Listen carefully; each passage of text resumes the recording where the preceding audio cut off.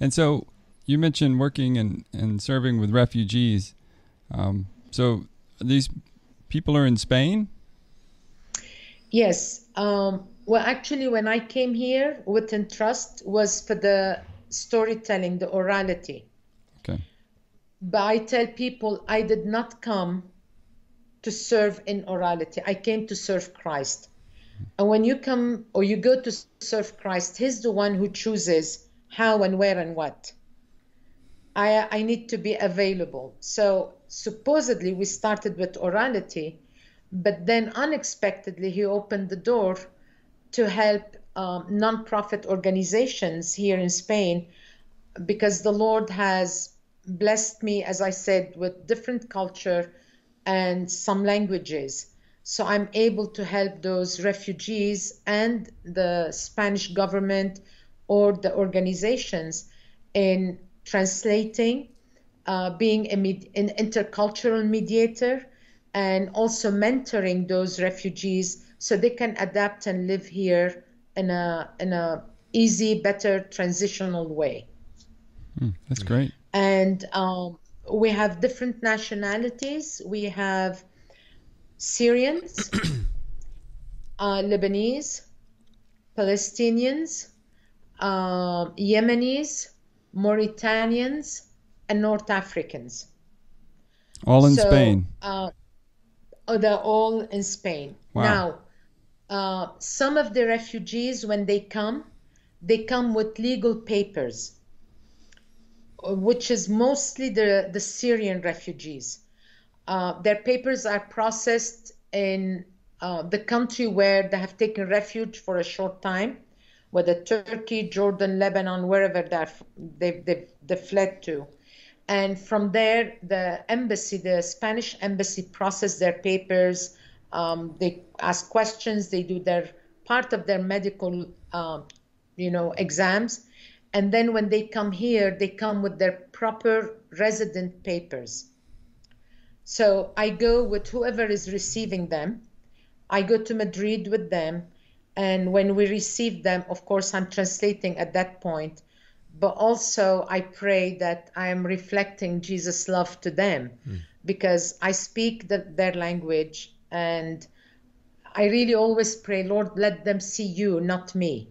Mm. So I help the, the immigration, the custom, whoever and I help in the translation. And then I will walk with them actually from then on almost every day, step by step, how to buy food, hmm. where to go for hospitals, what to do.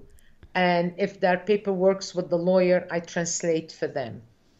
Now, I can imagine it being pretty overwhelming to to come into oh, no, the area. No, no, no, no, no for uh, for know, the refugees. Like, for the refugees. Uh, for the refugees, yes. Yeah. Uh, because they come with an expectation. Right.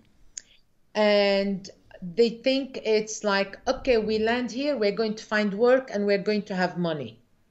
But that's not it. When they come here, they have to go through a process of a year and a half.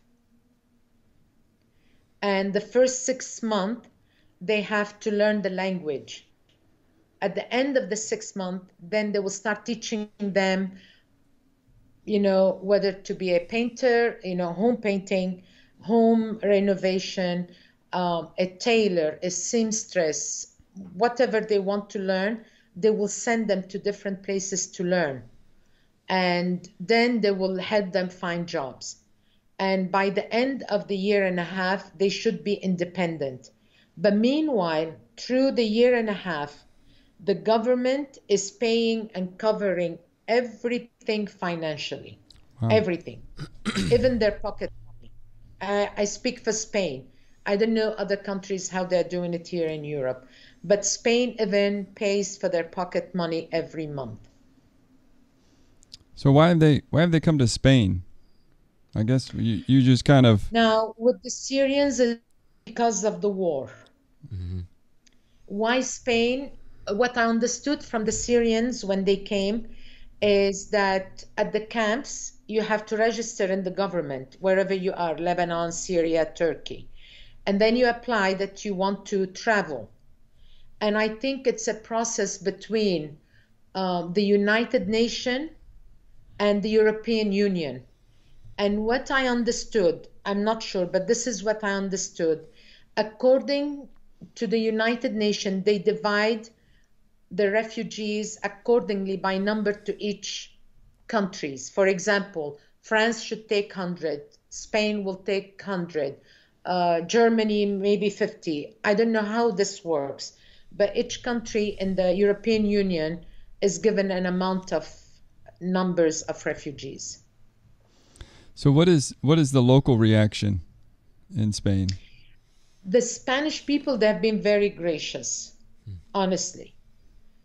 Um, I, the only negative thing I've heard is from a non-Spanish who has become a Spanish citizen, who is very unhappy about the refugees coming and taking money from the government. But I haven't heard any Spaniards speaking negatively. Instead, actually, I've seen more sympathy. They're hmm. reaching out to them. Um, even I know some refugees have rented from a specific man an apartment. Of course, the government is paying, but they're renting from this man. He brings them fruits. He brings them vegetables because he has like a garden.